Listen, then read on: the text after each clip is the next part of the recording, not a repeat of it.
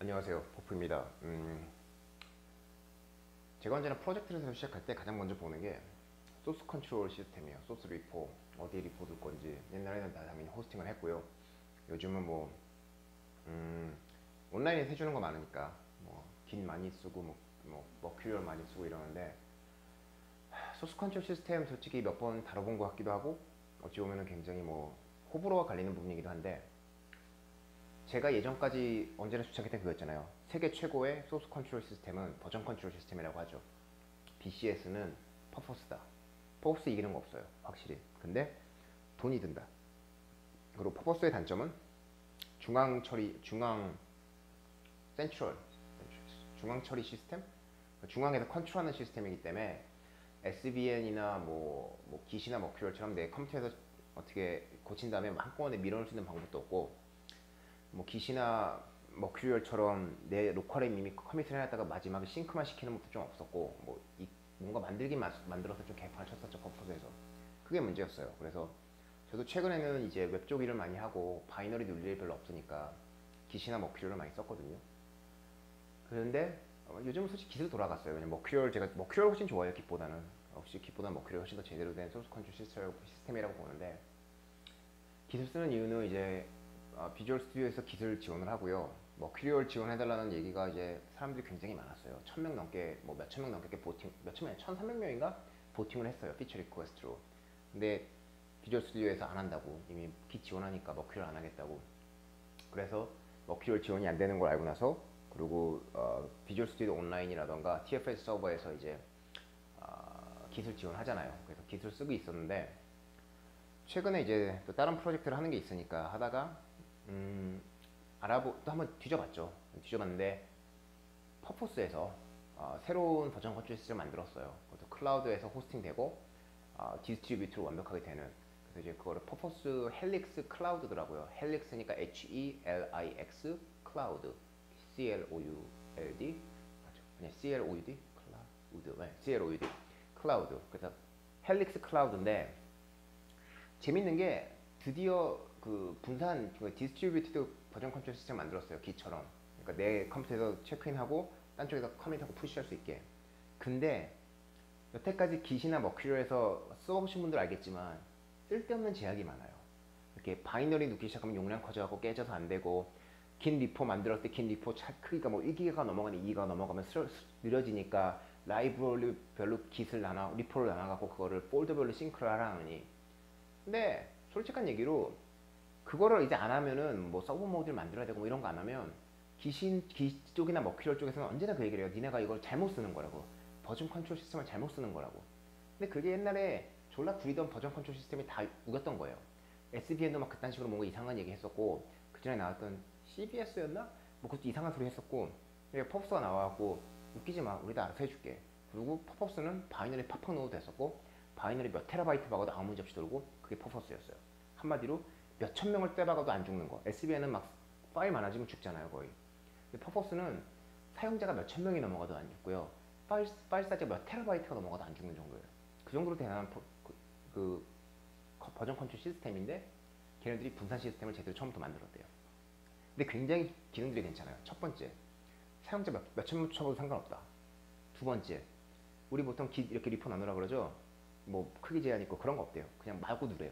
세 번째, 그리고 우리 Git repo 하면은 보통 그 헤드에서 그러니까 Git repo 전체를 아, clone해야 되잖아요. clone한 다음에 쓰잖아요. 퍼포스 헤드는 딱 그래요. 어, 필요한 폴더만 clone해서 써. 그러니까 Git repo는 크게 있어요 하나. 걔는 repo가 그럼 그 중에서 필요한 sub section만 골라갖고 sync해갖고 commit하고 넣을 수가 있대요. 그러니까 한마디로 당연히 지원을 했어야 되는 거죠. 버전 컨트롤 시스템이라면은 뭐 당연히 뭐 distribute 시스템의 장점이 있고 그것 때문에 딴 거를 포기할 수는 있지만 그게 발전을 하면 할수록 솔직히 그거를 저 지원해줘야 되는 게 맞거든요. 양쪽에다 그 장점을 살려서. 근데 어쩌면 Git이나 Mercurial은 그냥 아 이건 원래 이런 거야. 니네가 이렇게 안 쓰면 니네가 잘못된 거라는 mindset을 갖고 있었기 때문에 오히려 불편함이 되게 많았어요. 그리고 머지 엔진도 별로 안 좋은 경우도 많고 뭐 여러 가지 문제가 많죠. 솔직히 기, 기시는 문제는 많았어요. 그런 부분에서. 그래서 이번에 퍼포스에서 그거를 Helix Cloud를 시행을 한대요. 뭐 공짜라고 하는데 어디까지 공짜인지 모르겠고 아직 베타 중이거든요. 그래서 저도 이제 베타에 sign up을 해놨어요. 한번 써보고 확인해 보려고.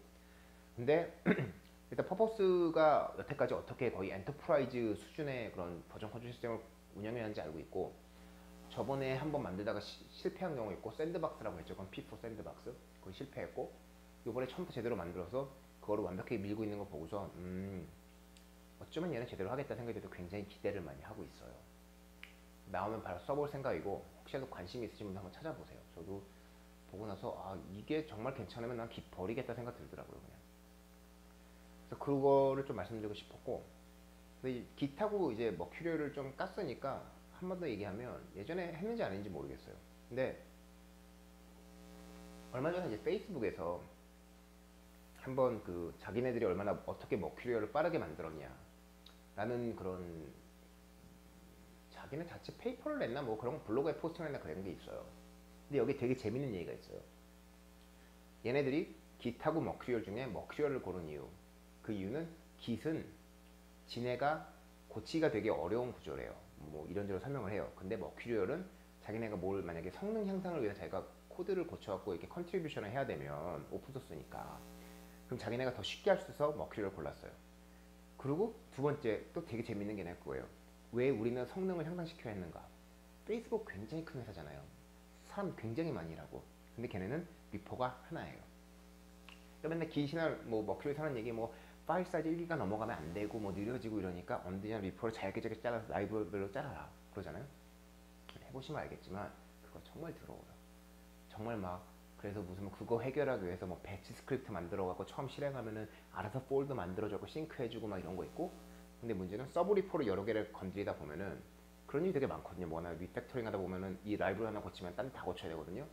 그러다 보면은 체크인해야 되는데 repo가 여러 개니까 여러 개가 체크가 들어가야 돼요 push도. 뭐 그거를 이제 batch해 주는 것도 있지만 뭐 깨끗하진 않아요.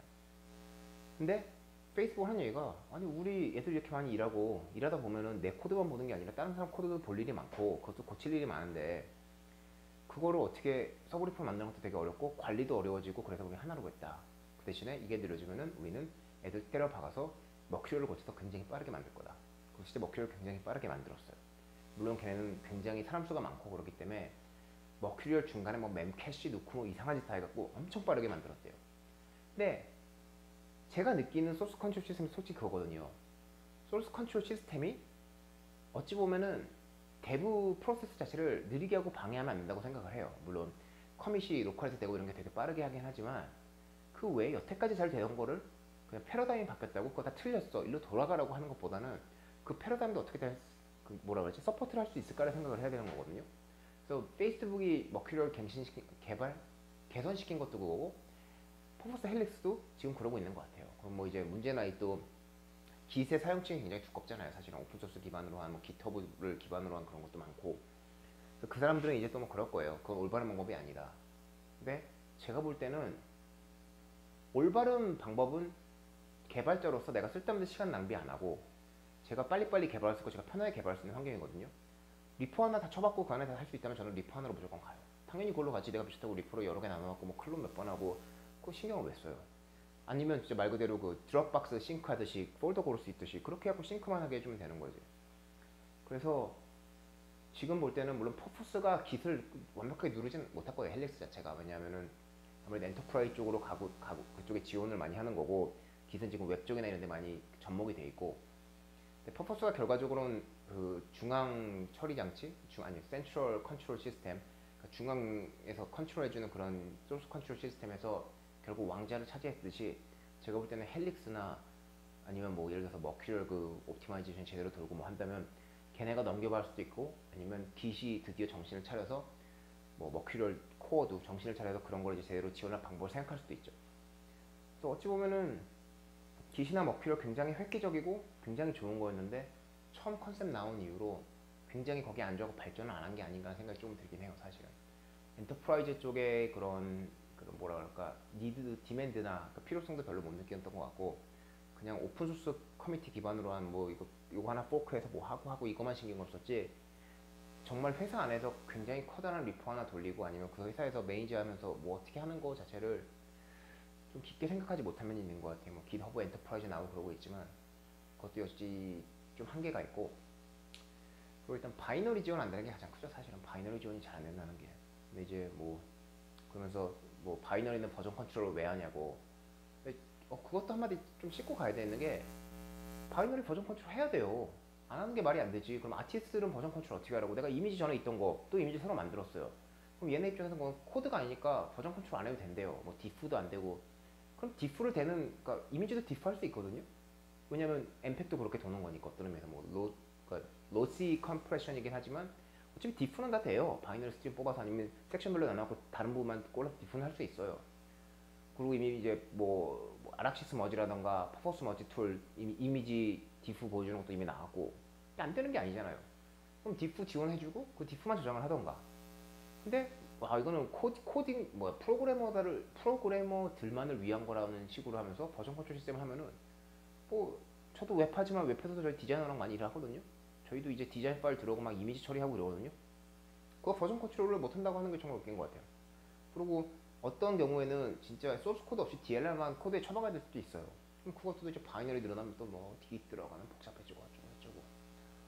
그래서 제가 생각할 때는 예, 이렇게 정말 어떤 상황에서 회사에서 일하는 상황에서 과연 binary 다 버리고 그런 걸 다 버리고 소스 컨트롤을 어떻게 할 수가 있지라는 생각이 가면 갈수록 드는 거예요. 아무리 순수 웹, 웹사이트 회사에도 거의 불가능하거든요.